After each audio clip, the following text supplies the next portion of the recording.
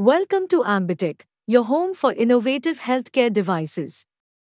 Today we are introducing the Ambitech Nebulizer, a safe new way to inhale medicated vapors for healthy lungs and respiration. Let's take a look at everything you get inside the box. The compressor machine, the mask kit, a pack of extra filters, and the user manual.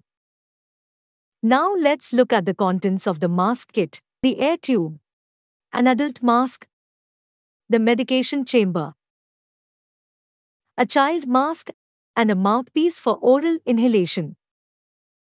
Now that we know all the contents, let's look at how to set up the Ambitech nebulizer.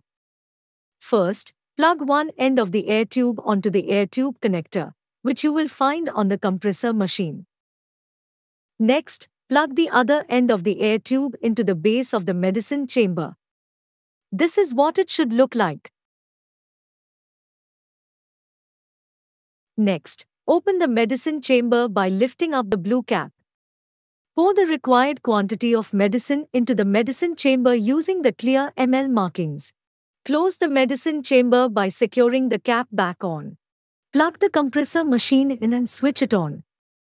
To start the nebulization process, simply switch on the red button that is on the upper side of the machine.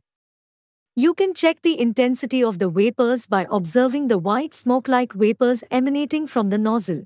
To adjust the intensity of the vapors, turn the knob on the cap between three modes. Now, plug the nozzle into the child mask, the adult mask, or the mouthpiece as applicable.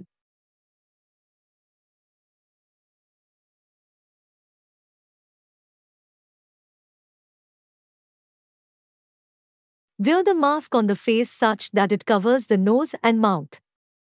If you are using the mouthpiece, place it in the center between the teeth and close your mouth around.